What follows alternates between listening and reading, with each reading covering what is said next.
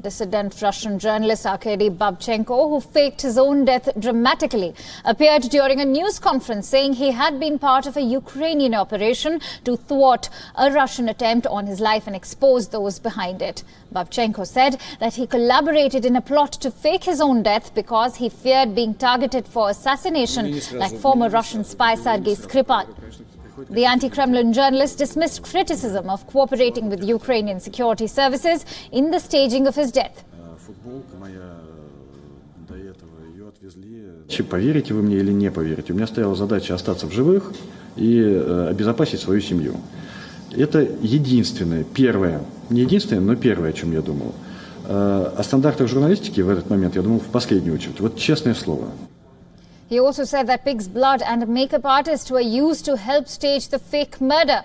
After he was found lying in a pool of blood by his wife, he was taken away in an ambulance from the scene to a morgue.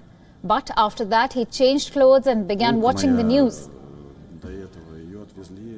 Вот, приехала, э, приехала скорая помощь. Э, Легенда была такая, что еще вроде как живой. Меня погрузили на носилки, отнесли в скорую помощь. Скорая помощь, естественно, была в курсе, потому что врач может отличить живого человека от неживого. Э, Мы отъехали на какое-то расстояние. Там началась, начались мероприятия по моей реанимации. Реанимация оказалась неудачной, и я умер. Э, Врач позвонила, зафиксировала смерть